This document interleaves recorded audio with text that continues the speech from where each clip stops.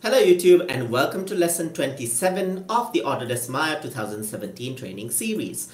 So uh, we can set keyframes to attributes and what we can also do is we can assign controllers to it just like we uh, did the basic uh, car rigging uh, to the individual attributes as well. For example, let's use the same example for color. I'm going to right click and assign a new material to this just like before. Okay, let's move it up. I'm going to assign, let's say something like blue. Okay, and then what I can do is I can assign a controller to this. Let's say, for example, let me take this curve right here.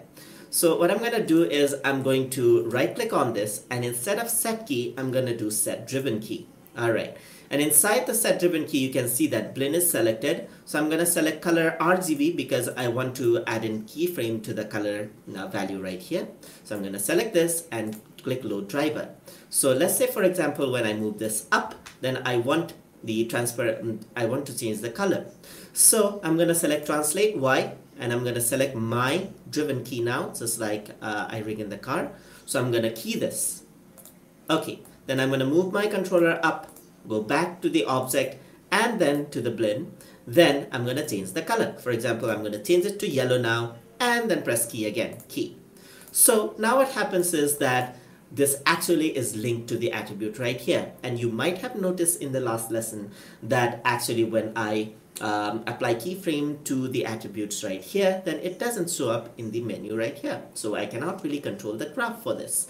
But now you can see that now I can actually control this and this actually can be a smooth animation. So for example, now I can simply press S. You can see the uh, um, keyframe right there. So I can go down, press S, go up, press S, go down, press S, go up, press S. And you can see that uh, you can actually have this kind of an animation just like that.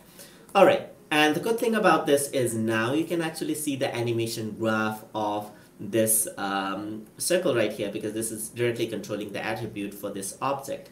So I'm going to go into Windows and then I'm going to uh, the animation editors, then graph editors, then you can see that there you go, there's actually the attribute for the color itself. So I can actually now control the color animation to the graph right here. So you can see that this actually controls the color uh, which is which gives me more control over uh, while doing the animation.